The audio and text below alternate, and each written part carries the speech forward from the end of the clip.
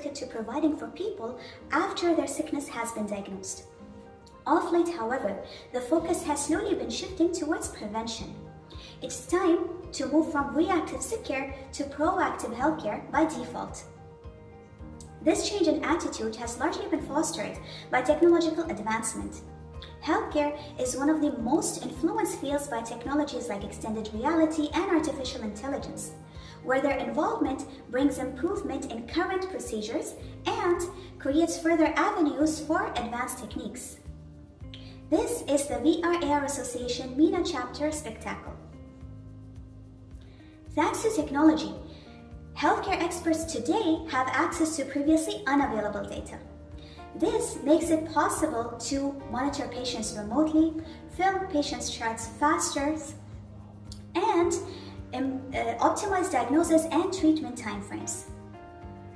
Highly fulfilling medical training sessions, heightened comprehension of ailments, and enhanced pain distraction methodologies are only some of the countless benefits that immersive healthcare brings to the table. How do experts describe some of the major drivers of the XR market growth? First, there is an increase in preventive medicine. And mass education on preventative healthcare and lifestyle modification is critical in addressing issues such as the diabetes epidemic which puts a massive financial strain on the healthcare industry. Modern tools allow us to walk through pathological scenarios for the purpose of training or patient education. Then, there are tremendous benefits of using extended reality in rehabilitation. Virtual reality has the capability of creating individualized motivating environment in which practice intensity and feedback can be manipulated to create, uh, to create individualized treatment plans, which helps to retain movement. Furthermore, there is the proven positive impact of using VR for cancer patients an escape from the confinement of the chemotherapy infusion suite and the anxiety or the boredom and discomfort that may be associated with the chemotherapy treatment. XR is also redefining healthcare services for developing nations. Developing countries have limited medical resources. As a result, it is challenging dealing with a drastic increase in the number of cases considering the lack of sufficient machinery and workforce, resulting in higher rates of mortality, especially due to pandemics. Immersive training helps us to bridge this ever-increasing gap by making life-saving lessons quite accessible, cost-effective, and available for immediate application.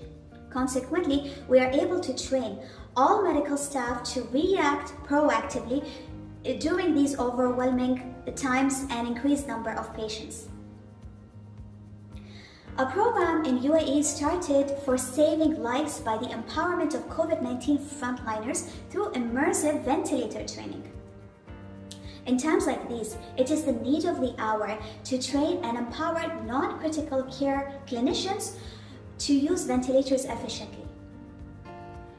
Knowing how to use one could very well be the difference between saving and losing a life. Back in 2016, a group of simulation experts working in collaboration with surgeons and game developers at the Royal College of Surgeons in Ireland developed and launched the world's first fully interactive virtual reality-based medical training simulator.